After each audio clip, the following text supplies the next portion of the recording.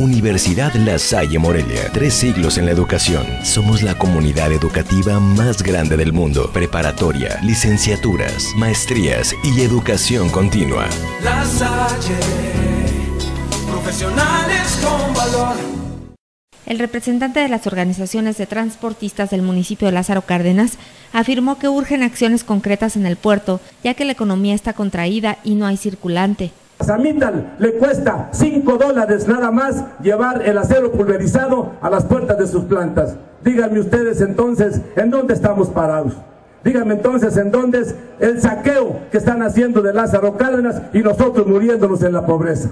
El dirigente transportista aseguró que son más de 3.500 los camiones que se encuentran sin laborar. Falta del circulante económico, Lázaro Cárdenas se está convirtiendo en una ciudad insegura en una ciudad difícil de invertir y los cardenenses de veras que estamos pasando penurias. Álvaro Santillán aseguró que la empresa ArcelorMittal paga precios irrisorios por la extracción del metal.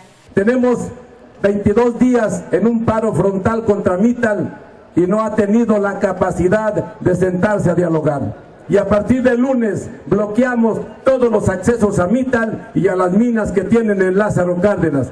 Recordó que los transportistas exigen una revisión salarial y tarifas justas. Para Cuasar TV, Fátima Miranda.